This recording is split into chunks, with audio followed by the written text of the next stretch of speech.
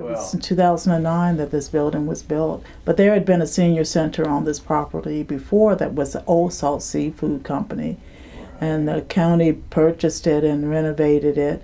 I think that was in like 1988. Um, I'd been on the advisory board of Upper Shore Aging, and um, we would have meetings at the old center, which was here, but it was small and dark. You're right, the old building was kind of dismal and dark. And we were here when the old building was raised and the ground was broken for the new building.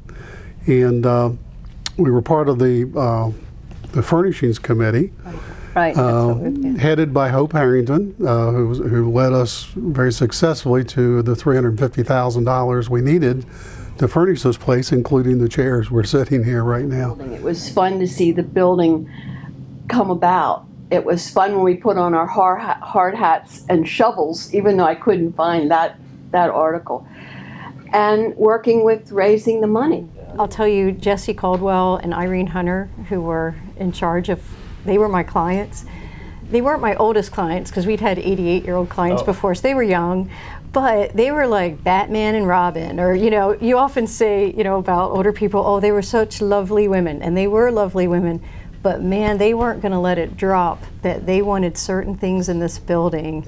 And so they helped us as an architect because when we wanted to do a, a green roof, you know, the county's like, mm, not sure. You know, a lot of people feel that way. And Yeah, it was kind of a special uh, deal for me being the superintendent on the job. That you know, the green roof is the first green roof I ever did.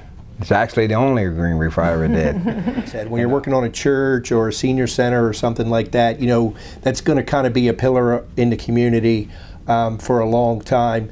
It has a lot of eyes from the community um, watching progress and, and those type of things. And yes, our company has been blessed that we're busy.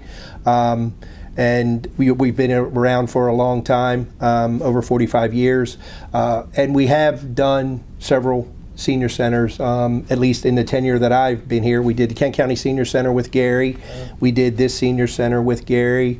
We did the Mac Center down in Salisbury, which serves uh, a huge population down there. And and as someone mentioned a little earlier, we just finished up the uh, YMCA in St. Michael's, which has a senior center component of it. it, it, it certainly brings in folks who are who are more isolated, and that's that's kind of one of the goals of senior centers is to I, when you think about the um, kind of the theme of the center uh, to grow, to connect, to thrive, uh, to be well. You know, those are kind of the ideals that we're reaching for with the, with the center.